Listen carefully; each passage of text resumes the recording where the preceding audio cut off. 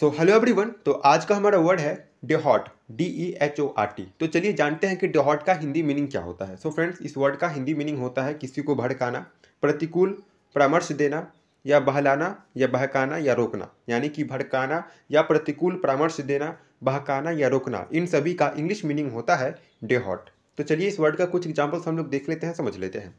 जैसे एक सेंटेंस हमारा दिया हुआ है कि आई टे hot you from pursuing a career in acting तो इन, इस सेंटेंस का अर्थ हुआ कि मैं तुम्हें अभिनय, यानी कि एक्टिंग में कैरियर बनाने से रोकता हूँ, यानी कि डिहॉट करता हूँ। तो दोस्तों, जैसे कि मैंने आपको बताया कि किसी को भड़काना, प्रतिकूल परामर्श देना, बहकाना या रोकना, इन सभी का इंग्लिश मीनिंग होता है डेहॉट तो इसी तरह के डेली नए नए वर्ड सीखने के लिए जाने के लिए अभी लाइक और सब्सक्राइब करें हमारे चैनल को, ताकि आप यहाँ डेली नए नए इंटरेस्टिंग वर्ड हमेशा सीख सकें, क्योंकि हमारे चैनल पर प्रतिदिन नए नए इंग्लिश वर्ड से रिलेटेड वीडियोस अपलोड किए जा रहे हैं, जिसे देख के और सीख के आप अपने अंग्रेज़ी को और बेहतर से बेहतर बना सकते हैं। तो दोस्तों, आज की इस वीडियो को देखने के लिए आपका बहुत बहुत धन्यवाद।